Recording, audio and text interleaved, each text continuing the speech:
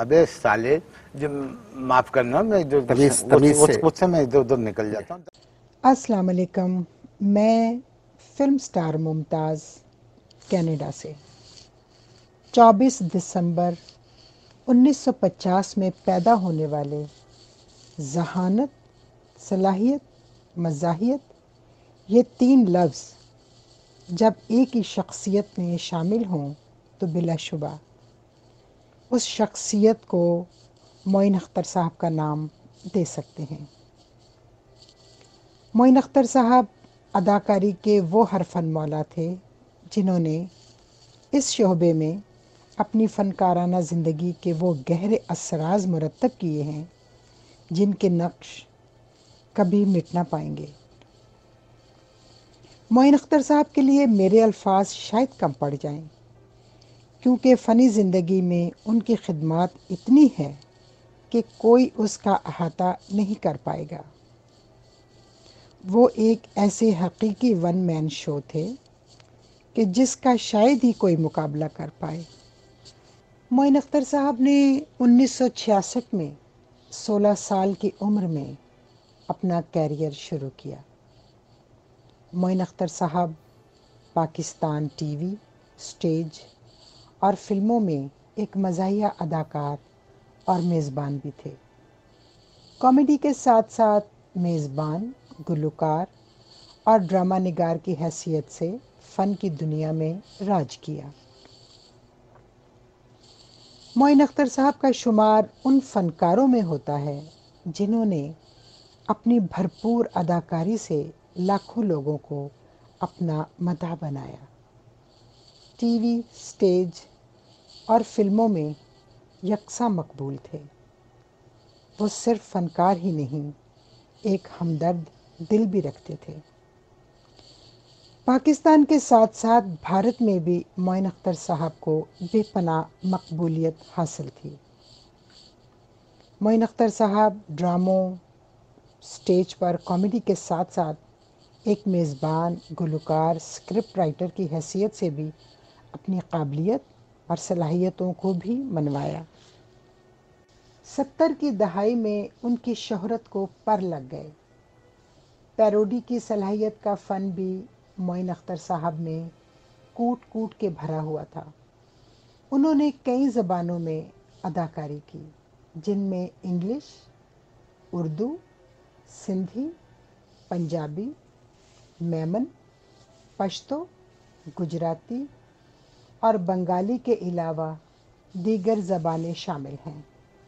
इनके मकबूल shows, loose talk, fifty fifty, half play, Rozy, Mirza, Hamida, इंतज़ार फरमाइए, आँगन टेढ़ा, सचमुच 420 यस सर, नो सर, वगैरह वगैरह।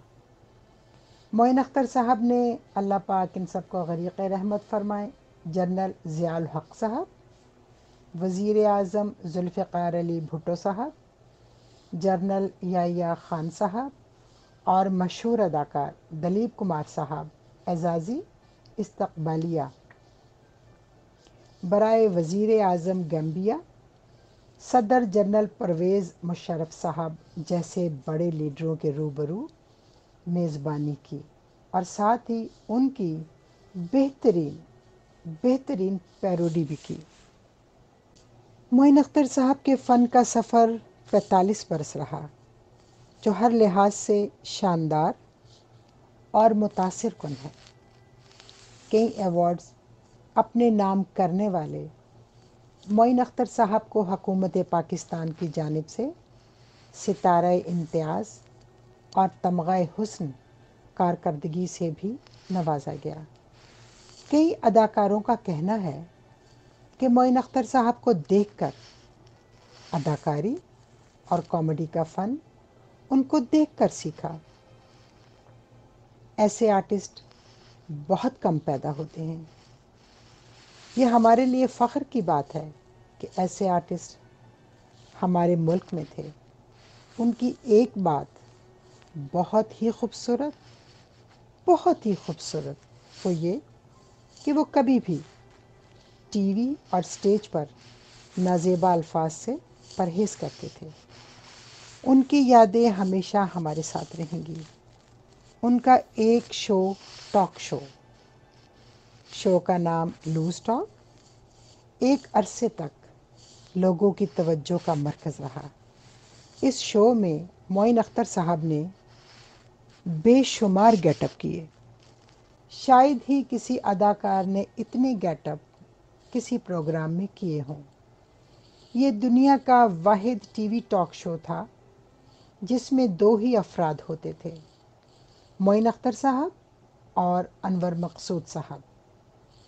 इस प्रोग्राम की धुमें पूरी दुनिया में फैल गईं।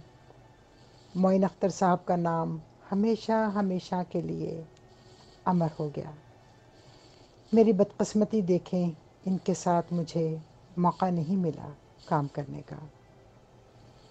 आखिर में मैं इस लेजेंड के लिए दुआ करती हूँ। अल्लाह पाक इन्हें जन्नतुल फिरदौस में आला मकाम अता फरमाएँ।